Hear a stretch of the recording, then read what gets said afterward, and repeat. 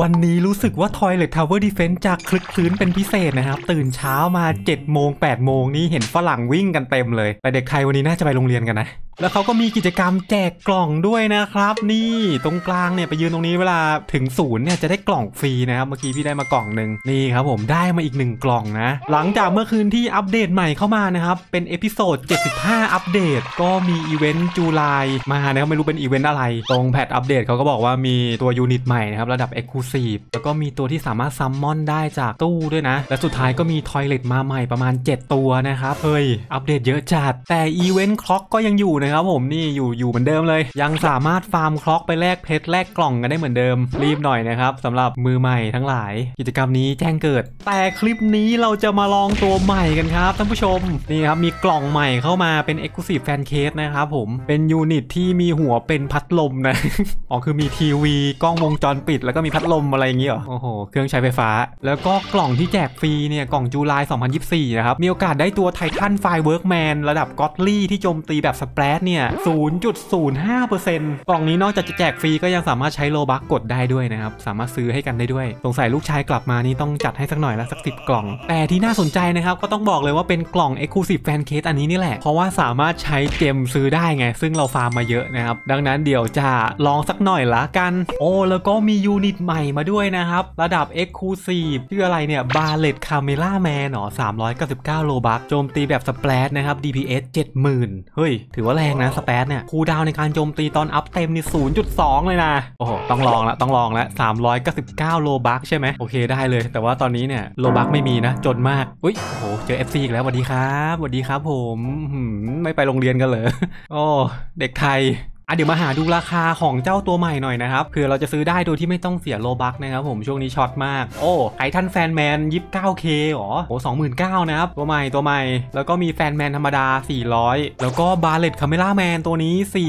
4,800 ประมาณ 5,000 นะ เดี๋ยวก็ซื้อมาเลยแล้วกันอยากลอง โอเคได้มาแล้วนะครับฟาร์มเพชรมาแล้วก็ต้องจัดสักหน่อย ส่วนตัวอื่นๆเดี๋ยวเราจะเปิดกล่องเอาเองนะครับเรามีกล่อง July 2กล่องนะครับแล้วก็กล่อง Time Case เก่าเนี่ยอีก 6 กล่องมา เดี๋ยวเราซื้อกล่องนี้เพิ่มเลยครับ Fan Case Fan Case ซื้อมาสัก 30-40 กล่องกันแล้วกันนะครับ เผื่อดวงดีโอกาสได้ตัวระดับ e x c l u s i v e ตัวนี้เนี่ย โอกาสได้ 1%นะครับ Titan Fan Man มีความสามารถอะไรเนี่ย push distance เหรอมันคืออะไร DPS อยู่ที่ 80,000 เลย โอ้โห มากล่องพร้อมใจพร้อมเราทำได้นี่ มี FC อยู่ข้างหลังด้วย ตามมา น้องไม่ไปโรงเรียนหรอน้อง มาดูซิว่าดวงพี่วันนี้พอจะได้ยูนิตใหม่ 0.05%มาครอบครองหรือไม่ ไปครับผมยังไง เฮ้ยอ๋อ เป็นอันคอมมอนนะครับผม ถ้าไม่ใช่อันคอมมอนยังไงก็ต้องกอดลี่ พึบ โอเค เยี่ยมเลย มาเป็นธงชาติเลย ไม่เป็นไรครับ เรายังเหลือกล่องนี้อยู่นะ เดี๋ยวไปเร็วเลยดีกว่า เพราะว่าพี่ไม่ชอบเปิดกล่องนาน มันเสียเวลานะครับ รีบเปิดรีบเปิด เปิดให้หมดนี่เลย อยากลองตัวใหม่โอ้ออกมาเต็มเลยว่ะ ยังไง ยังไง 30 กล่องจะไม่ได้เลยหรอโอ้ดูไม่ออกเลยครับ หน้าตามันคล้ายกันไปหมดเลยอะมาดูในกระเป๋ากันดีกว่า อ๋อ เหมือนจะได้ Large Fan Man มานะครับ กี่ตัวเนี่ย หลายตัวเลย แล้วก็มี Fan Man ธรรมดา ส่วนเจ้า Titan Fan Man นี่ไม่ได้เลยนะ สมกับเป็น 1%นะครับ ก็ไม่คิดว่าจะได้แต่แรกอยู่แล้ว เดี๋ยวซื้อเพิ่มเลยนะครับ เดี๋ยวพี่ตั้งใจจะเปิดให้ได้สัก 2 ตัวเป็นอย่างน้อยเพราะว่าต้องเปิดไว้ให้ลูกชายตัวน้อยด้วยนะครับ ไปโรงเรียนไงวันนี้เกมอัปเดตมาอดเลยอดเล่นกับพ่อเลย เดี๋ยวเปิดให้หมดเหมือนเดิม นี่เปิดไปเดินไปนะ เดี๋ยวพื้นที่เต็ม โอ้ช่วงนี้ก็อัปเดตต่อเนื่องนะครับแบบนี้ เอ้ยเดี๋ยวนะ เมื่อกี้เห็นอะไรแวบๆ โอ้ นี่ครับตัวเบอร์เริ่มเลยกลางหน้าจอ นี่ครับ Titan Fan Man แล้วเหมือนจะไม่ได้แค่ตัวเดียวนะเว้ย นี่ได้มา 2 ตัว โอ้โห นี่ไงครับของพ่อตัวหนึ่งของลูกตัวหนึ่งอันแน่ โอ้โห ลูกต้องรักพี่แน่ๆ ตอนนี้เราได้ตัวใหม่มาเกือบครบแล้วนะครับ ขาดก็แค่ตัวนี้เท่านั้นนะนี่ตัวนี้นะครับ Godly Titan Firework Man ตัวนี้ โอ้โห ยากเลยงานยากเลยไม่มี Robux เดี๋ยวลองไปหาซื้อดูแป๊บนึงแล้วกันไททัน Firework Man อยู่ไหนวะโอ้โห ไม่มีขายเลยครับ น่าจะแพงน่าดูลองย้ายเซิร์ฟแป๊บ เซิร์ฟนี้ก็ไม่มีฮะ โอ้เซิร์ฟนี้ก็ไม่มีขายว่ะ โอ้โห หลังจากหามาหลายเซิร์ฟนะครับ รู้สึกจะไม่มีใครขายจริงๆครับ เจ้าเนี่ยตัว Godly ใหม่เนี่ย เอาเป็นว่าเดี๋ยวคลิปนี้เราไป test ตัวที่เรามีกันก่อนนะครับ อยากลองมากเลยตื่นเต้น มาครับ เดี๋ยวขอลองตัวที่มีก่อนเลย โอ้โหว่า แล้วทำไมวันนี้คนยืนกันเยอะจังเขามีกิจกรรมแจกของนี่เอง แล้วก็มี FC น้องคนเดิมวิ่งตามพี่อยู่นั่นแหละมาครับผมเดี๋ยวไปลองใน Endless กันเลยครับ นี่มาครับเหมือนเดิมครับ ทดสอบโดยที่ไม่ปิด auto skip นะครับมาถึงฟาร์มเงินก่อนเลย รู้สึกว่าจะเป็นตัวตระกูลใหม่เลยนะครับตระกูล Fan Man เนี่ยหัวพัดลมนะครับผมก่อนหน้านี้ก็มีหัวไมโครเวฟหัวทีวี หัวลำโพง เออ เชื่อว่าอีกไม่นานก็น่าจะมีหัวหม้อหุงข้าวเข้ามาแล้วล่ะอะมาดูตัวแรกครับ ตัวที่คิดว่าน่าจะอ่อนที่สุดแล้ว เพราะว่ามันออกง่ายมาก 99.9%กับนี่ครับ Sparkler Cameraman นี่วางตรงนี้แล้วกันนะ damage เริ่มต้นตอนนี้คือ 600 นะครับ ถือว่าเยอะพอสมควรแล้วก็โอ้ตีกระจายตั้งแต่เวล 1เลยนะครับผมเป็น AOE spread แล้วก็ piercing ในตัวเดียวโอ้โหดจังวะ คือการโจมตีแบบ 3 รูปแบบในตัวเดียวนะครับ เดี๋ยวลองวางตรงนี้ดีกว่าจะได้เห็นภาพชัดๆ เดี๋ยวลองอัพเต็มดูสินี่ครับ อัพมาถึงเวล3รูปแบบการโจมตีน่าสนใจมากๆครับ กับเจ้าตัวนี้ damage 2,500เลยนะ ค่าวางร้อยเดียวเองอะระยะ 30 cooldown 1วินะครับ DPS ตอนนี้2,500ดูเหมือนจะเป็นตัวที่ตีค่อนข้างช้านิดนึง แต่ damage นี่ไว้ใจได้เลย ว่าแต่ไอวงสีฟ้าๆนี่คืออะไรวะ อัพเต็มที่เลเวล3นะครับ ระยะโจมตีขั้นแม็กนี่ถือว่าสั้นมาก น่าจะเป็นตัวต้นเกมตัวใหม่ที่น่าสนใจไม่น้อย ค่าวางร้อยเดียวเองนะ โอ้ไม่ธรรมดาครับ ก็คือเราสามารถวางตัวนี้ตัวเดียวแล้วก็ช่วงเริ่มต้นเนี่ยอัพตัวฟาร์มเงินได้เลยนะครับ สบายๆไหว chill คิดว่าไงครับทางบ้านตัวนี้เต็ม 10 ให้เท่าไหร่ คอมเมนต์มานะครับ ส่วนตัวแล้วพี่ชอบเสื้อมันนะ มันดูเป็นเหมือนธงชาติไทยเหมือนกันนะเนี่ยอะเดี๋ยวขายทิ้งครับแล้วมาดูที่ตัวต่อไปนะครับ กับ Fan Man นะครับผมตัวนี้โจมตีแบบวงกว้างด้านหน้านะ รูปแบบการโจมตีเป็น AOE เหมือนกันนะครับ เดี๋ยวรีบอัพเต็มก่อน โอ้โห ใช้ตังเยอะเหมือนกันนะเนี่ย ระยะก็คล้ายๆเจ้าหัวไมโครเวฟเลยนะเนี่ย เหมือนพัดลมเป่าไปด้านหน้าเนาะ โอ้โห ดูหันซ้ายหันขวา ตอนนี้เราเปิดพัดลมเบอร์3นะครับเลเวล3แล้วพลังโจมตีถือว่าหนักหน่วงอยู่นะ เพราะว่ามันตีเร็วนะครับโอ้ยหลับได้ด้วยนี่หว่า อะ อัพเต็มแล้ว damage อยู่ที่ 3,000 นะครับ cooldown 0.1 และไอ push distance นี่คืออะไรอะ มันสามารถผลัก toilet ถอยหลังได้ปะเนี่ย อ๋อ ใช่ครับ เออ ใช่ใช่ใช่โอ้โห สอดคล้องกับรูปลักษณ์ของเขาที่เป็นพัดลมนะ ก็คือเป่า toilet กระเด็นกลับหลังได้นิดหน่อย กระตุกนิดนิดๆอ๋อ ก็คือเป่าถอยหลังได้นั่นเองนะครับ เป็นระยะ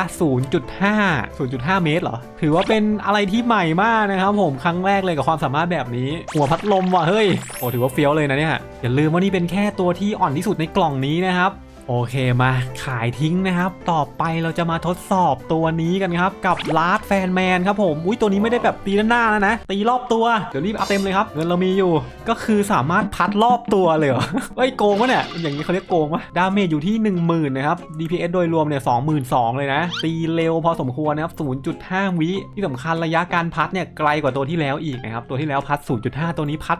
0.8 ก็คือทอยเลทจะกระเด้งได้ไกลอีกนิดนึงนะ ดูดิ กระตุกได้นานขึ้นนะครับยอดเลยว่ะหัวพัดลมเนี่ย แล้วก็ตัวนี้เหมือนจะดีไซน์มาตัวสูงกว่าตัวที่แล้วนะครับ ตัวที่แล้วเปิดได้สูงสุดคือเบอร์4นะตัวนี้เบอร์ 6 ก็น่าจะแรงกว่ากันเยอะ โอ้โห แต่เหมือนจะโดนหลับได้ด้วยนะครับ หัวบันลมอะเดี๋ยววางเพิ่มให้ช่วยกันเปิดนะครับจะได้เย็นๆ ความสามารถโดยรวมโอเคเลยกับการกระตุก monster กระตุกจิตกระชากใจ toilet คิดว่าไงครับสำหรับ Large Fan Man ตัวนี้นะ พัดลมเบอร์ 6 ของเราเต็ม 10 ให้เท่าไหร่ก็คอมเมนต์มากันได้เลยนะครับ มาต่อกันกับพี่ใหญ่ตระกูล Fan Man นะครับผมกับเจ้า Titan Fan Man นะ นี่ โอ้ โอ้ตัวใหญ่จังวะโอ้รู้สึกว่าตัวนี้จะเป็นโคตรพัดลมนะครับผมเดี๋ยวลองอัพเต็มก่อนโอ้โหพออัพแล้วรู้สึกว่าจะไกลขึ้นได้อีก เป็นการโจมตีแบบ AOE รอบตัวนะครับ แถมมีเลเซอร์ยิงจากตรงหน้าอกด้วย ตัวนี้ลูกชายพี่ต้องอยากได้แน่ๆครับ โชคดีที่ได้มาถึง 2 ตัวด้วยกันอ๋อลืมบอกนะครับมีความสามารถในการผลักเหมือนกันนะ แต่ตัวนี้ผลักได้ไกลกว่านะครับ1.5 เลยนี่กระตุกอย่างเห็นได้ชัดเลยนะ แฟนแมนตัวก่อนหน้านี้จะกระตุกแค่แป๊บเดียวนะครับ ตัวนี้ก็เพิ่มระยะเวลาการกระตุกขึ้นมาอีกหน่อยอะตอนนี้ก็อัพเต็มไปแล้วนะครับ damage อยู่ที่ 40,000 ระยะการผลักเท่าเดิมนะครับ cooldown การโจมตีเท่าเดิม แต่ระยะโจมตีนี่เพิ่มขึ้นมาไกลมากๆเลยดู ตัวนี้ก็เหมือนจะใช้ได้นะเดี๋ยวต้องลองเล่นดูก่อน โอ้นี่ขนาดวาง 2 ตัวนะครับ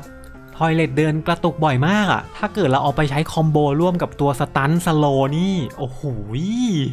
มันต้องโหดแน่ๆ แล้วน้องๆทางบ้านเลยครับ คิดว่า unit Titan Fan Man ตัวนี้เต็ม 10 ให้เท่าไหร่คอมเมนต์มาเลย และเดี๋ยวท้ายคลิปพี่มีแจก อะ แล้วมาถึงตัวสุดท้ายที่เราพอจะหาได้ในคลิปนี้แล้วนะครับ กับนี่ครับผมบาเลต Cameraman ครับ โอ้โห เท่เหมือนกันนะ ลักษณะภายนอกก็เป็น Cameraman ตัวหนึ่งนะครับ แต่มันสามารถปากระดาษทิชชู่ได้ เหมือนจะเป็นระเบิดหรือเปล่า คล้ายๆกระดาษทิชชู่เลยนะครับ เลเวล1โจมตีพันสี่นะครับ เดี๋ยวรีบอัพก่อน แต่พออัพมาถึงเลเวล3 เริ่มใช้ปืนแล้วนะ เป็นปืนเลเซอร์นะครับ ตามสไตล์ของตระกูล Cameraman แต่ถ้าเข้าระยะวงในเมื่อไหร่เนี่ยจะใช้เป็นระเบิดนะครับ เจ้าตัวนี้ก็เป็น unit รูปแบบ spread นะครับ ระดับ e x c l u s i v e damage ค่อนข้างรุนแรงนะครับ เคลียร์ toilet ได้ดีมากเลย ระยะก็ไกลพอสมควร แต่มันจะมีดีเลย์ของการควักระเบิดนิดหน่อยนะครับเนี่ย สังเกตดูว่ามันจะเสียเวลาตอนควักระเบิดแล้วก็ง้างไปนะครับทำให้ดูเหมือนตีช้าๆไงไม่รู้ โอเคครับ ตอนนี้ก็อัพมาถึงเลเวล 5 แล้วนะครับ เปลี่ยนจากการปาระเบิดเป็นการยิงระเบิดออกจากด้านหลัง เอ้ย เท่ว่ะ